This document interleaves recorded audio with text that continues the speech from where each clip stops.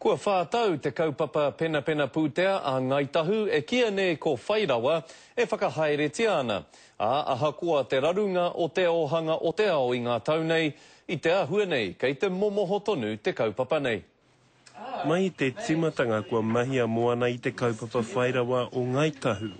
It's an excellent opportunity for us to, as a whānau, to think long term savings. Heke iho ki ana tamariki mokopuna rātou katoa kua rēhita kia whai rawa. Mōhio au he kaupapa whakahirahira, arā, he maha ngā hua ka puta mai i te kaupapa nei. E toru ngā āhuatanga e taea ai te tangata te whakamahi i ngā pūtea, Tuatahi mō te mātauranga, te hoko kāinga tuatahi, me te penihana kaumātua. He kaupapa penapena pūtea whai rawa nā Ngāi Tahu hei whakapiki ake i te mana ōhanga o te iwi, ā, mā ngā uri anō o Ngāi Tahu kua rēhita ki te iwi.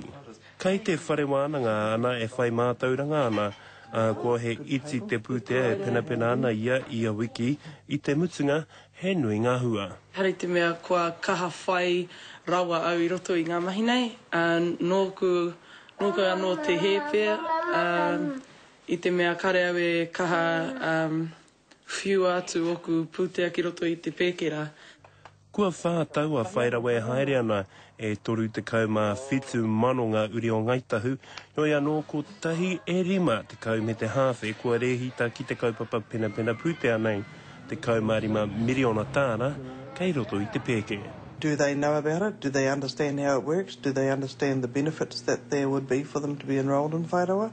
Ko Ngāi Tahu te iwi tuatahi kia whakahaerehia i tēnei kaupapa penapena pūtea kia whai kiko ai te kōrero he ara whai rawa mō Ngāi Tahu whānui. Weterei, Papa. Anzac Pikia, Te Karere.